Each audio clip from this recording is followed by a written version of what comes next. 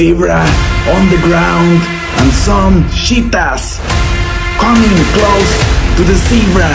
And they come and they go away.